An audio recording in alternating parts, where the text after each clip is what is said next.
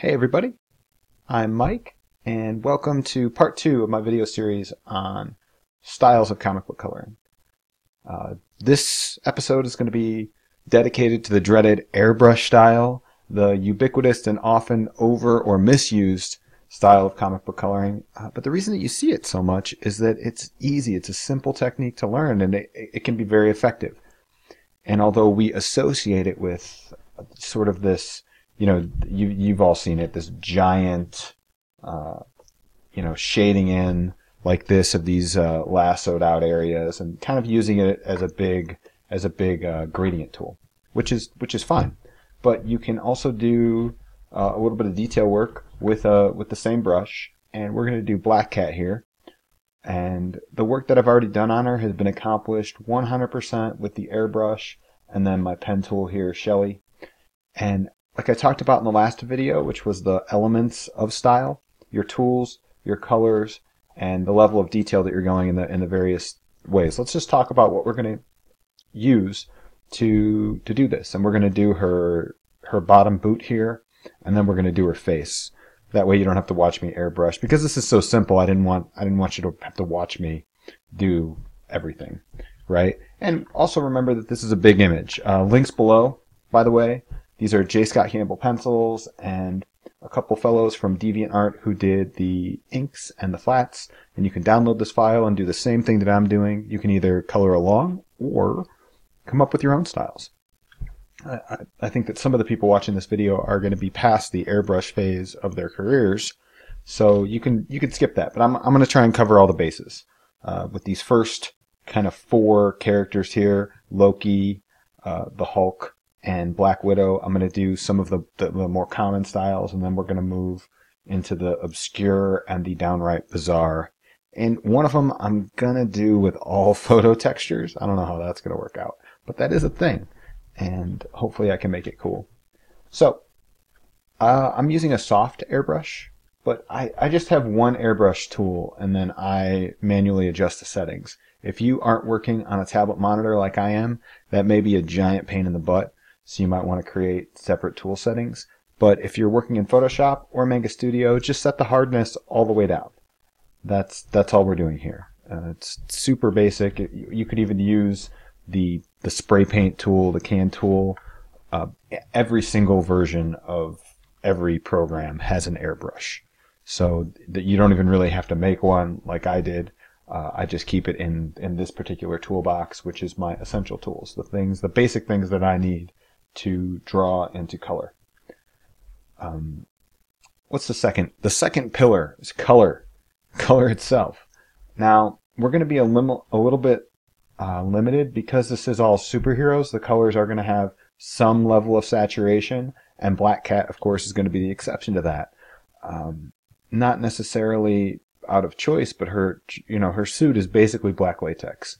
I've made it gray latex with a tinge of blue, but all of these colors, if we were to pick, if we're going to pick them, they're basically going to live right in this hue. I, I didn't shift the hue at all.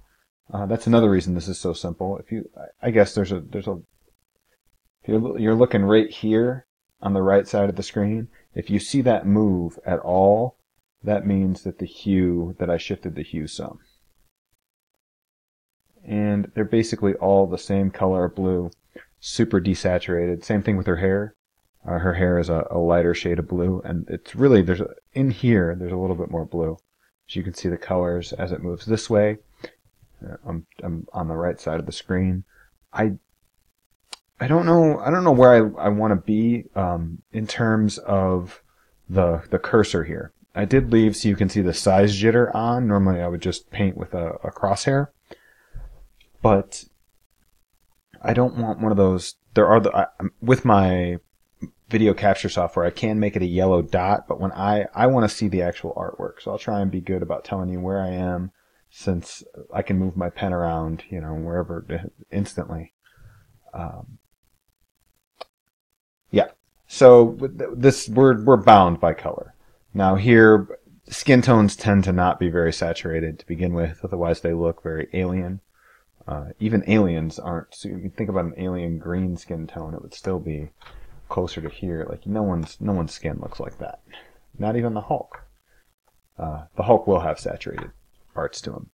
So, since we don't want this, I mean, we don't want this image also to not, I mean, it's not really going to go together considering there's different styles, but I'm going to try and, and, uh, and make the color choices as interesting as I can uh, as we move along. And color is a big part of style.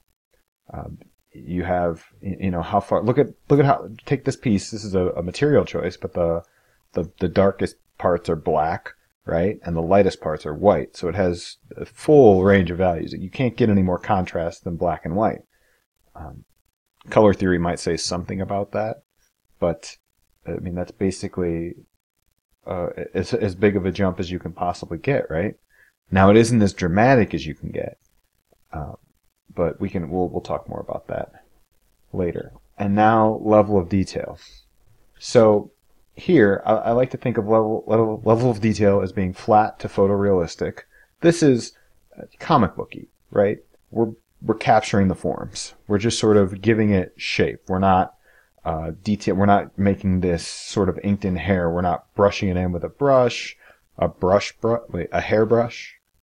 I have hairbrushes, and they can be very effective. You can create really realistic effects, but this is a, you know, I would say on a scale of ten, this is a three in terms of flat to photo, sparse to clutter. This is this is certainly not as contoured as we could get it. We could capture a lot more forms in here, so that's really ca- like the number of forms that you could capture versus what is actually there. And in this, this is again, this is somewhere in the middle. There's a little bit of contour. I mean, we, we, we kind of created a, I should, um, we, like the royal we. I, I kind of created a, a good shape here up in her two, you know, I will say this about this character. She's stupid, right? She's kind of Marvel's answer to Catwoman. And Selina Kyle is a really cool character. But Felicia Hardy is, she's dumb. She's stupid and she's normally not wearing any clothes, which is even more stupid.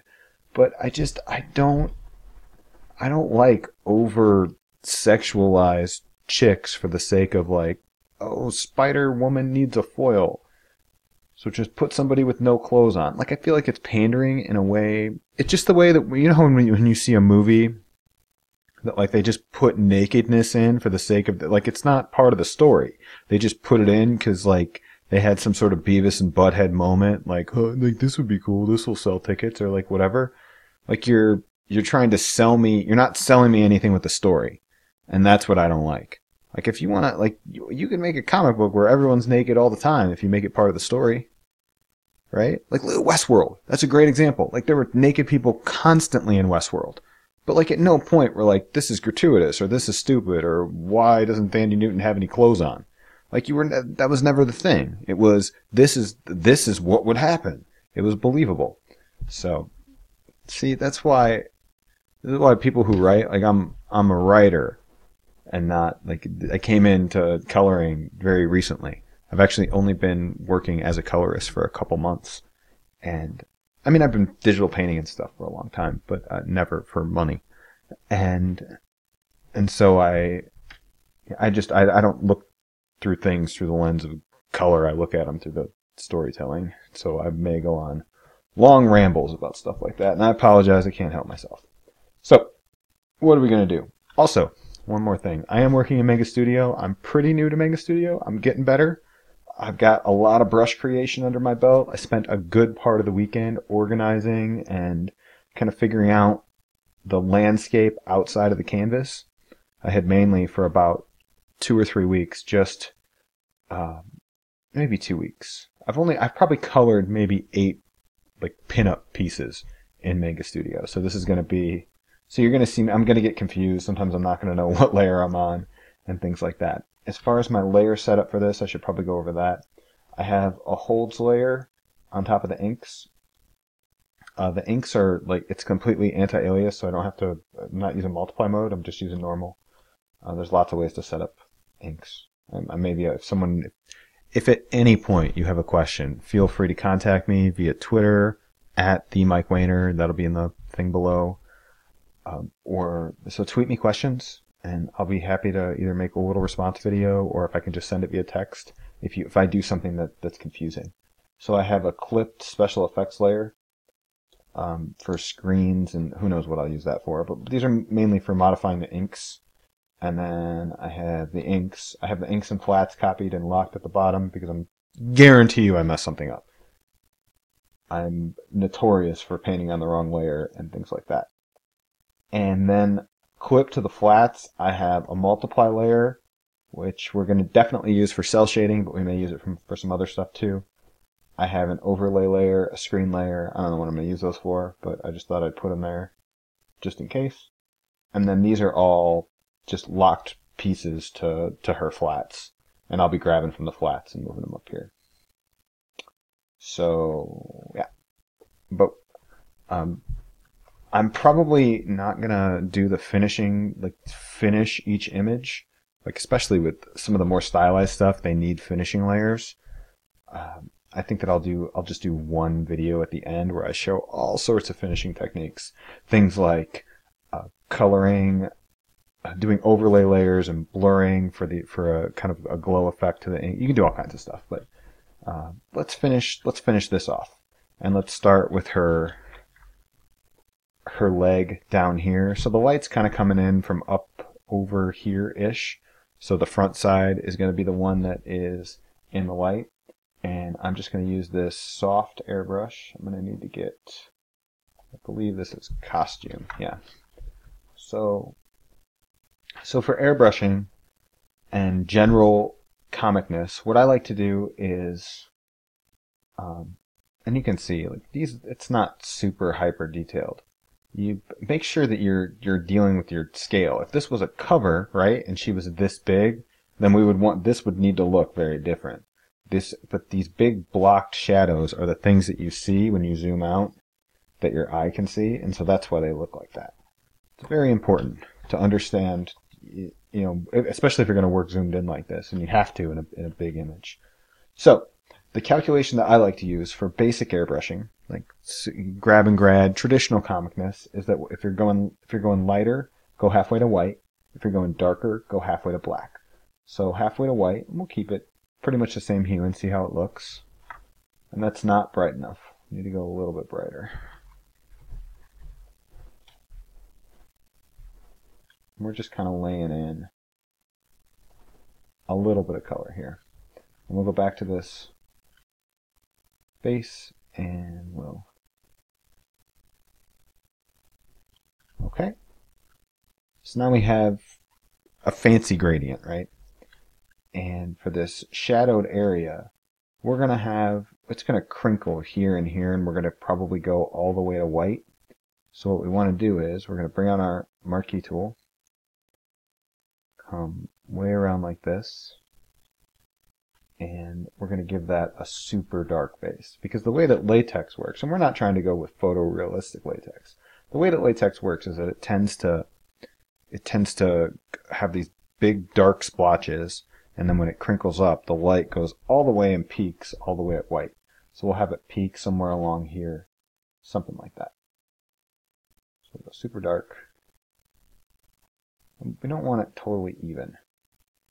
Actually, what we want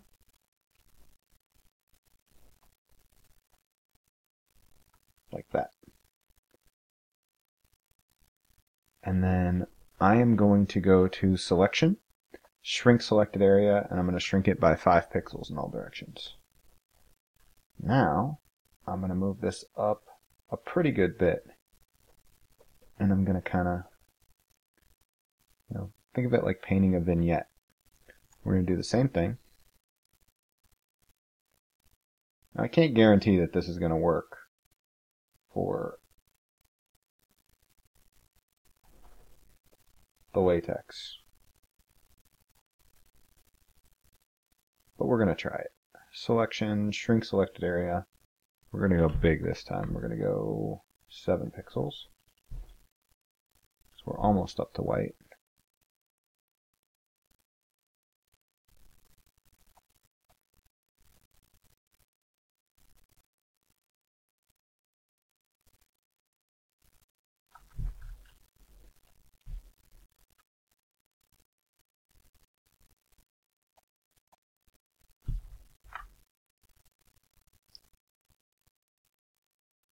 And of the other the other tool that we're using is this pen.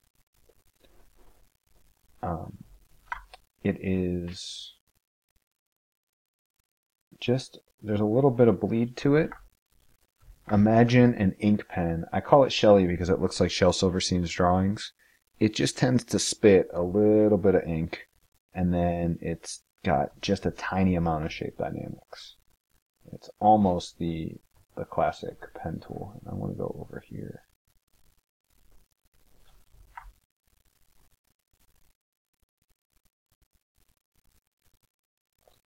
Now these white spots, if they're too small, they they look uh, like like this little indentation here might not look good once we zoom out. So it's important that we that we zoom.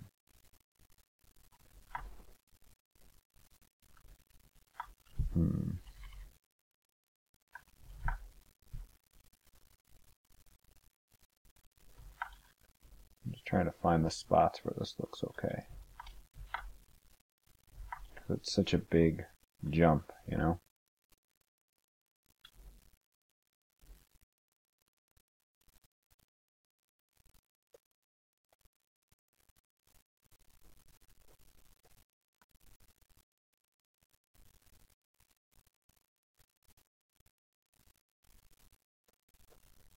That hard edge is just a little too much. Probably looked fine zoomed out, but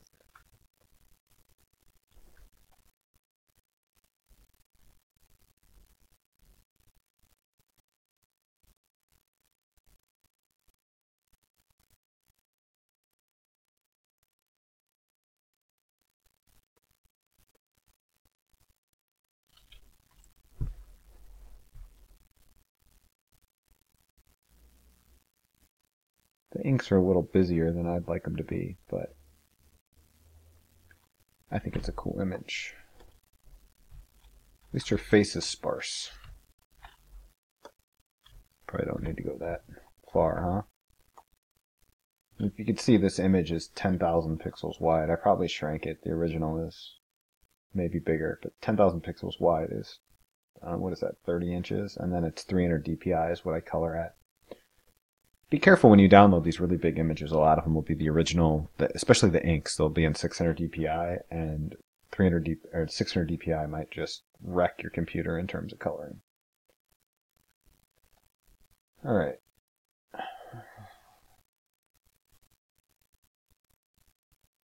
Her face. We're going to use. This is just a flat brush, meaning like a think of like a big marker. Although I have a marker setting, and that's different. But I see her face as being a little sallow.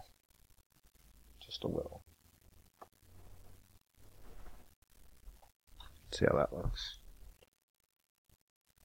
No, it's a little bright. Bring it down. Yeah.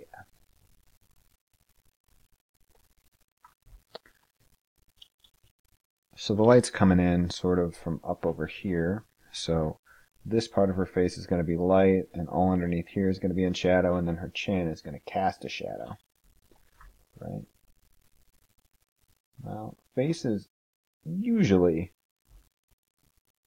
don't need as much of a value difference. It can be very dramatic. A little bit of value difference can be very dramatic. Not always the case. Oops. I need a. I need the the airbrush. It seems a little not saturated enough for me. A little bit more color in there. There we go. Yeah.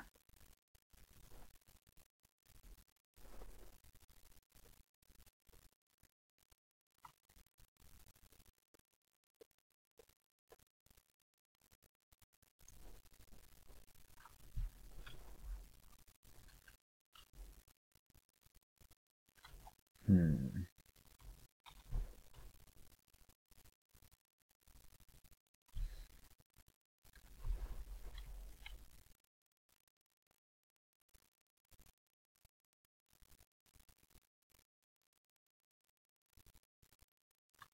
doing my best impersonation of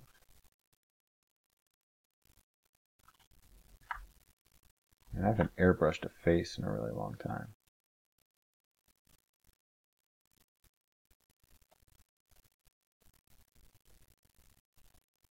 I was just reading volume four of The Boys, which was written by Garth Ennis, and it's not Dylan who does the art. I don't know who does the art, but it is exclusively it's like comically, no pun intended, airbrushed, and it is.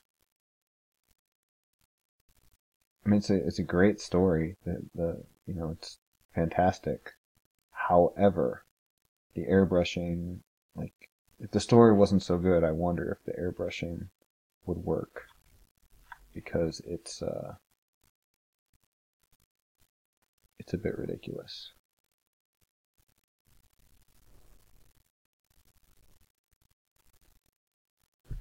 Some of this, when we go too far here, we will uh, we'll blend it down.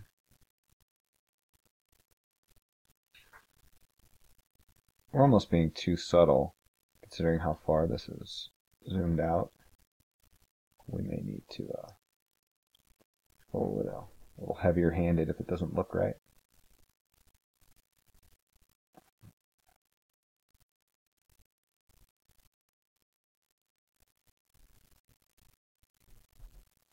Alright, I'm going to blend Use this kind of puffy blender, which just softens the edges. It doesn't really blend. Just on the spots where you can see that it was airbrushed. Now, to avoid that, you guys can use the uh, the marquee tool, but I try and uh, and avoid those and avoid the marquee tool when I can just a personal preference. It's certainly totally necessary at times, and stylistically, sometimes it's a, it's a very important choice because you want those the the layers of color upon layers. And see, we're just going to like not trying to create uh, a super realistic effect here. We're just trying to give her face a little bit of shape.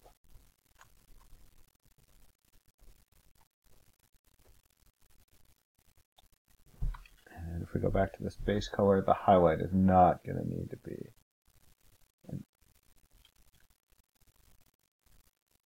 With faces, the and skin, the the highlights tend to be more desaturated and the the shadows more saturated. Hmm.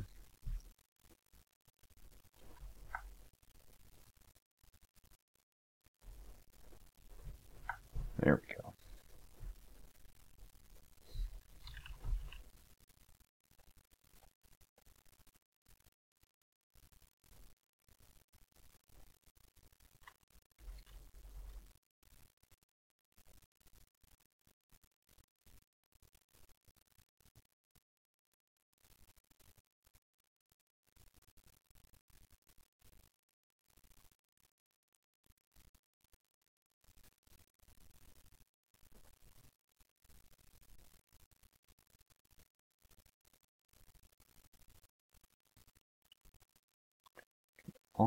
At just, I mean, I'm assuming that this is sunlight. It's another thing. And since we're dealing with latex, we don't have to deal with a lot of colored stuff, but there's a lot going on to this image, and I haven't really established a light source, probably because I'm thinking about maybe just having different light sources with each one, but if you wanted to make this more believable, probably throw a little bit of yellow on the rim of her hair and I just put some on the rim of her cheek. And it just adds, but it doesn't make it realistic, it makes it believable, right? And that's important. Too much. So, something is wrong right here. This is going to throw a big, I get it. So what's going to happen is, like that. And then this is going to be more like that. You got to think that this big bouffant is affecting some of that light, right? I didn't like that. Alright, let's see how this looks. What you want to avoid in faces is getting, what I don't like to see is a lot of gray. I like to see a lot of, uh, there's definitely going to be, see up close it looks okay, but this is going to, if that's the light, it's going to come down the chin some. It's not really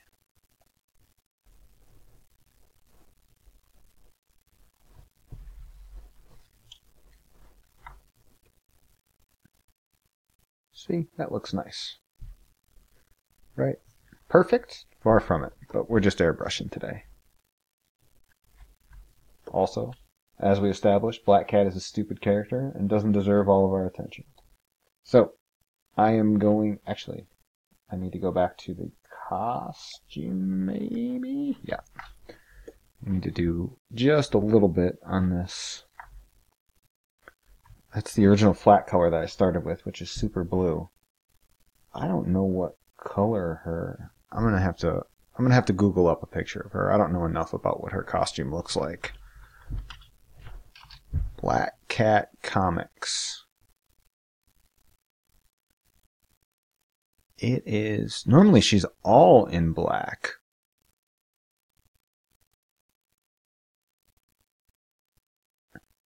and she never has any clothes on. Oh, and she's making out with Spider Man? You can do better, Peter Parker. Alright. So normally she's all in black, and she's kind of got fur around her 10 sizes too big melons. And, oh, some of these, some of these she looks like a, kind of like, like a trashy French maid. Like she looks like she's wearing a French maid Halloween costume. Why do we even call that like black and white lace thing French maids? Do French maids really dress like that? I don't. I'm not very smart. Alright, so I'm just going to match it. I'm just going to kind of match it with this. I'm just going to grab this gray color right here. I'm going to grab a flat brush. I'm going to color it in. And I'm going to go back. This isn't really something that you want to airbrush. Well, it is in the sense that... Alright, this is what we'll do. Well, that was not an airbrush. We'll just add a gradient. Like this, and then maybe right here we'll go up and over here and like that. And then we'll just do some highlights because it really doesn't need anything to be decent, right? You can just find a little spot there.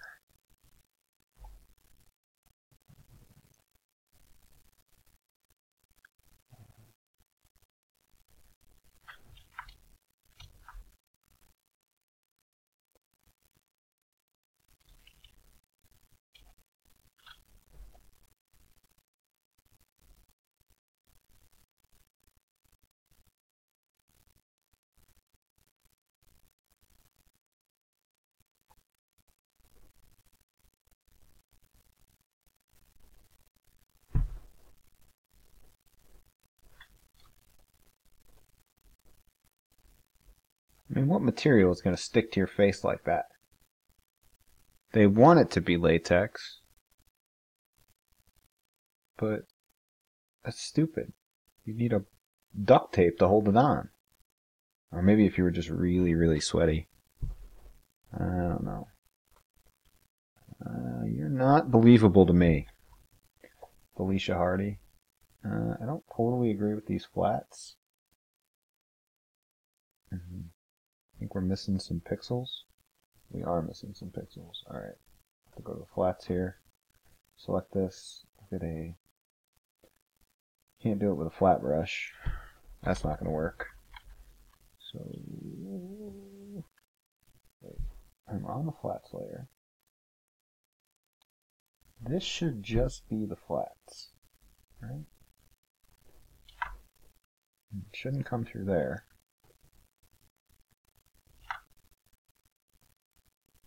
Ooh, I'm a dummy. It caught those pixels on top. Now we have a whole thing. How are we going to fix this? I know how. Alright. Now we're problem solving. Now you guys are learning something. So, what's our problem? The flattest messed up, and I didn't check this thing ahead of time. Those pixels probably don't matter because um, why don't why wouldn't they matter? Excuse me.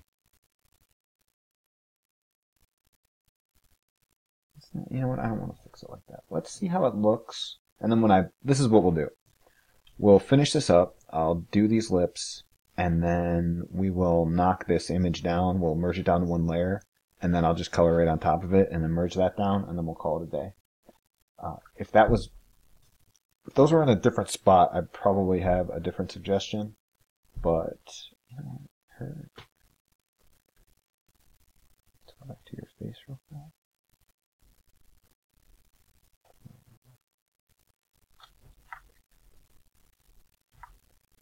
Shouldn't we have something like this right there?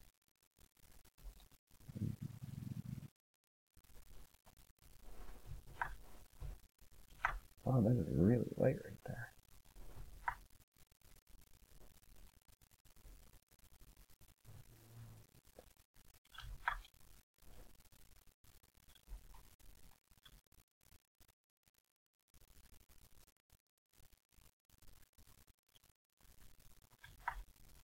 Hmm.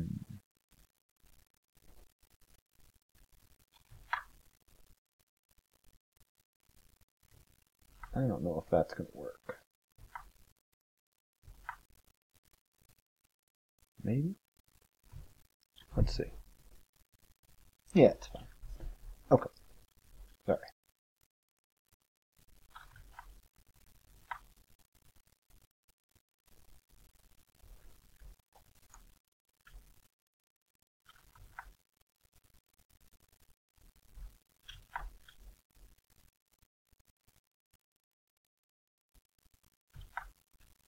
Hmm.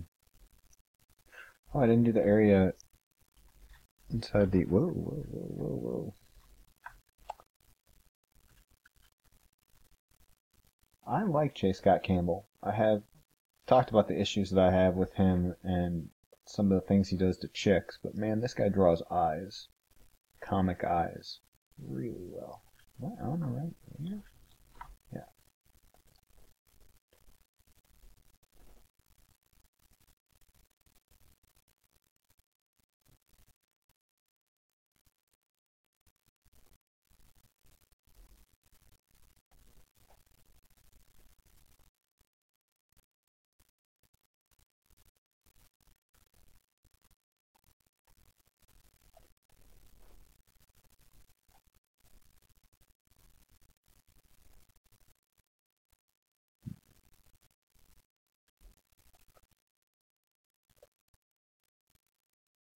Okay.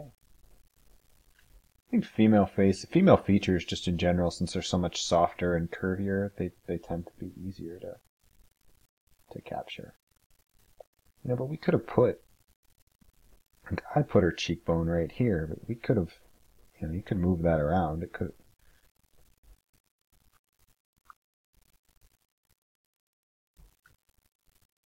It's interesting when there's not a lot of of lines, you can really make the face look like two different people might interpret the same face differently. I find that interesting. Um, I'm going to get rid of these layers right here. We'll bring them back for the cel shading.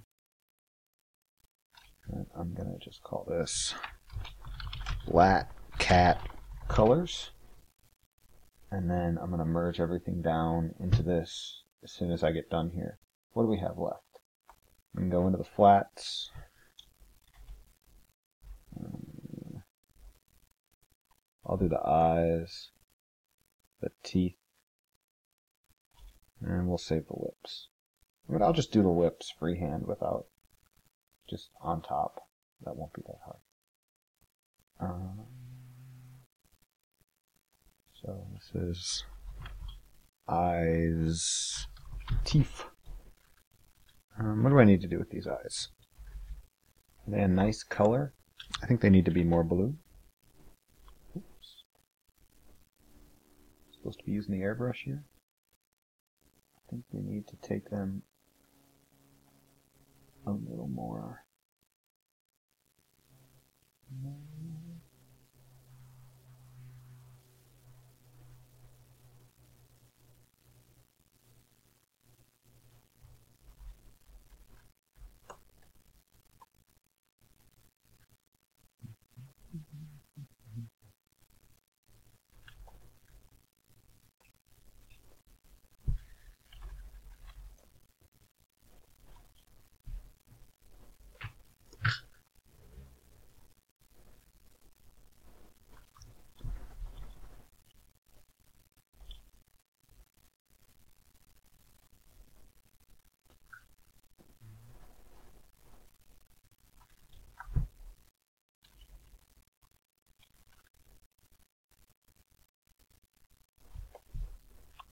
Easy peasy.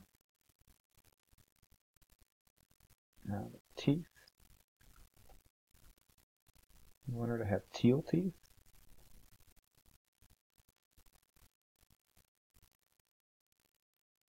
Hmm. Does she have big teeth? Does she have...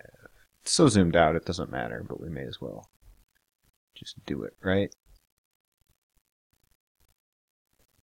I think really if we just threw some other color in there, it would be fine.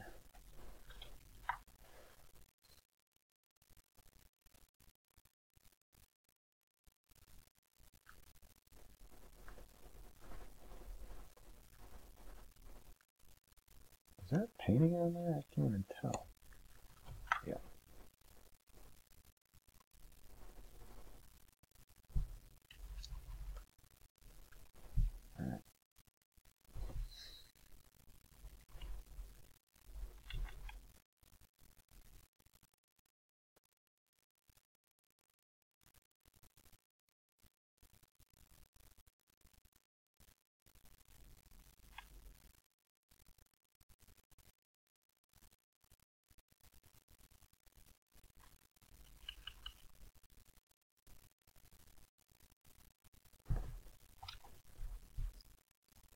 On just a second.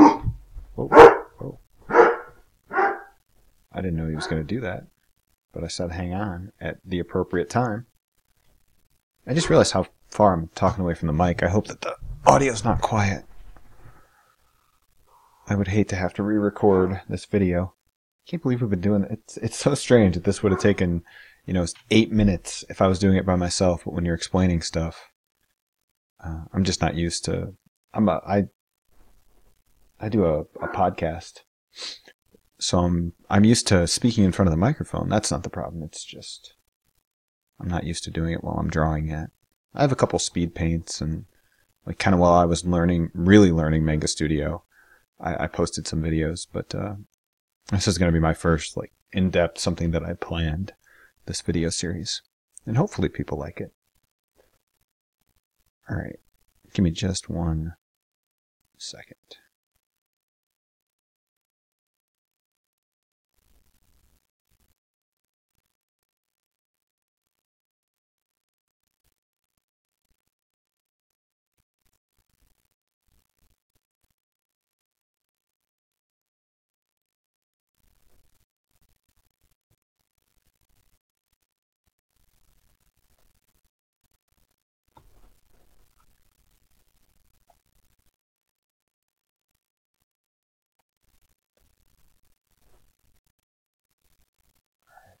Get our airbrush. I'm going to use the marquee tool for this.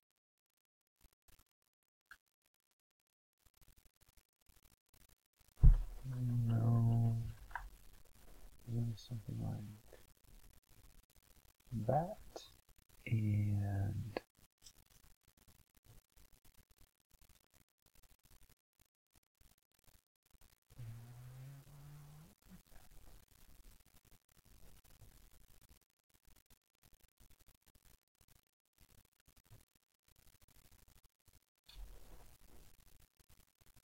maybe. I'm not sure how much color should be in here. Let's see. Just go right along the edge.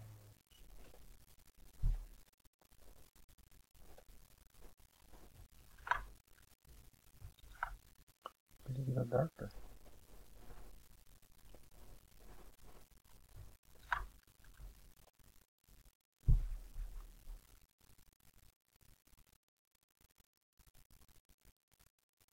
Yeah. I think gives enough. Up close, that looks like complete trash, but that's exactly what it needs to be when you zoom out, right? Great there. How's that look? Is that about how we're going to be seeing the image? Maybe a little bit, a little bit zoomier right there. That's how it needs to look. So that's what we're going to do. All right. What do we have left? We did her leg, we did her face. We need to do her lips. So let's uh, call this black cat colors and I'm just gonna use this combined to the layer below button. Actually what I can do is you can just select uh, that's not what I want. How about that? And then I bet I can merge layers. Merge layers. Whoa. That's not what I want to do at all. I want to merge selected layers. I told you guys I don't know how to use Manga Studio. This was Photoshop? Okay, merge, combine selected layers. G. No, it's a G. Alright. Black cat colors. Boom, boom, boom, boom. Now what do we need to do on black cat? Uh, here, I should make another layer, just in case I screw it up, right? So we're going to go into her lips. I'm going to take this inking brush because I know how it's, I know how it works. See, was that so hard? Flatter guy? Dummy. Jeez. Advertising free flats can't even do your job right. There's actually another little spot. There's these pixels right here that I couldn't get rid of. And this is making me crazy. Uh, did I sound angry? I'm not an angry person, I promise. How to make, how to soften that up? All I can do is delete pixels by covering them up with a color since it's on a separate layer. So we can't do anything about that. But were there any other pixels that were astray? I don't think so. I had to draw a couple lines on here. Uh, but, yeah. Alright, so are we happy with her lip color? I don't know that we are. So I need to refer only to the selected layer. Oh, no, wait. Yeah, I can't change the color on both. Well, I could, but that would be complicated. Real question is, do her lips look the right color? I'm okay with her lip color, so let's just let's just go with it, right? And we're gonna go super desaturated. Let's see if feel like the opacity is way down. Am I right? Yeah. Okay. So, I'm just going to want to do maybe the top of the lip. Like this. And then, I think she needs to be just. Don't want to get those teeth. Who needs a selection? And this is going to be kind of like this. And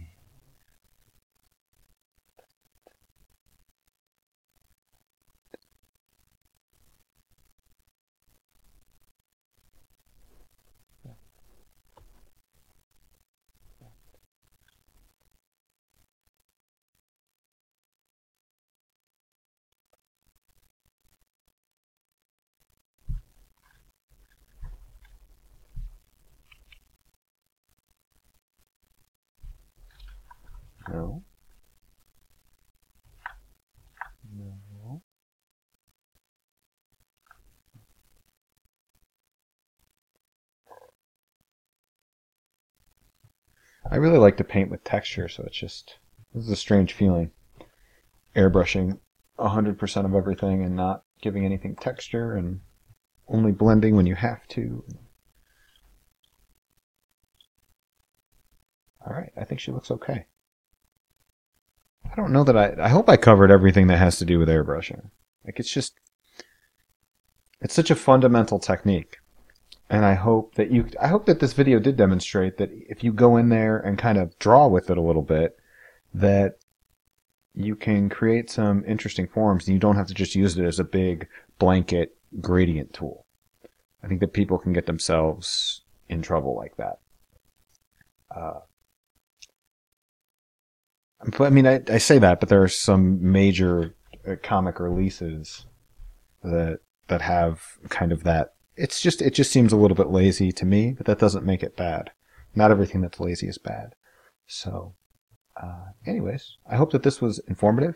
If you have questions, tweet me at the Mike Wehner. Uh, I will be back uh, tomorrow or the next day. I'm going to try and knock these out at least one per day. I'm going to record at least one per day. Uh, I don't know if I'm going to release more than one per day. But uh, yeah, this has been fun, and it was fun to to knock out this first character.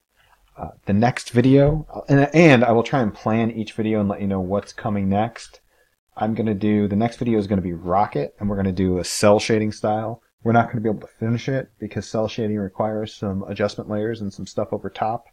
And I don't want to have to create masks for this little guy um, which would be easy if he was separate, like if his line art was separate. But do you see how it his line art is connected to Psylocke's leg? So that would mean it's not impossible, right? It's not a big deal to have to chop him out, but it would be kind of a pain in the butt since these guys are all stuck together. So I'll just do all that stuff at the end. At the end, I'll chop out each individual character and double them, and then we can do overlays and we can do any kind of screen or the basic special effects, like making the sword glow, stuff like that, we have layers.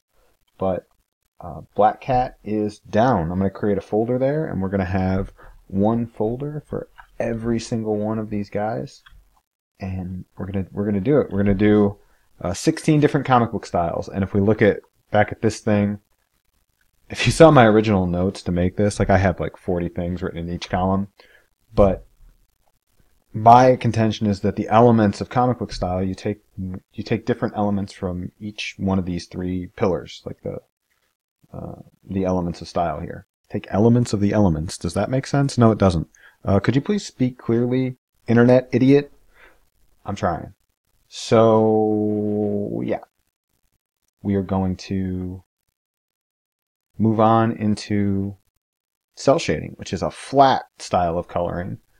And it's going to be very saturated and I'm going to show you how to tile the shadows together and how to pick highlight colors. And we're going to do a slightly we're not going to do cel shaded. A lot of times you just see it as shadow and highlight just two colors. I think we're going to do four four. We're going to have uh, the the the heavy shadow the, base halftone um, highlight and uh, one of the other ones quarter tone whatever we don't need we don't need to go all theory, right? We're just going to make him look cool. So, uh, we'll see you guys soon, and I hope you enjoyed this video.